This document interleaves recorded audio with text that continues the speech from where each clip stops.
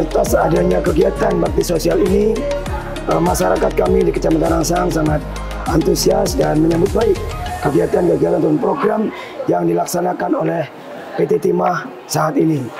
Sebagai contoh pada hari ini ada kegiatan sunat massal yang diikuti oleh lebih kurang 71 orang. Alhamdulillah ini sangat membanggakan bagi kami.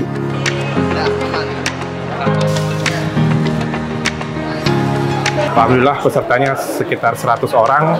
Uh, mudah-mudahan bermanfaat untuk uh, masyarakat dan kita rencananya tahun ini juga sudah beroperasi di Kepulauan Meranti. Semoga PT Timah uh, semakin jaya dan kompak bergerak.